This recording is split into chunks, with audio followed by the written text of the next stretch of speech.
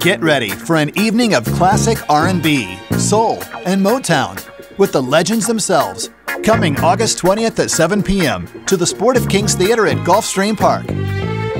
Featuring the voices of classic soul, former lead vocalists of The Temptations, The Four Tops, The Drifters, and The Platters, with over 100 million records sold.